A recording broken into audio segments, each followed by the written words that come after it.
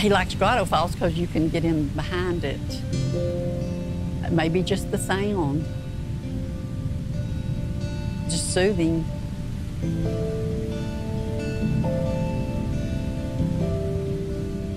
But you got to remember, although Garen's 25 years old, mentally he's maybe five. Everything's still, yet I guess, curious to him.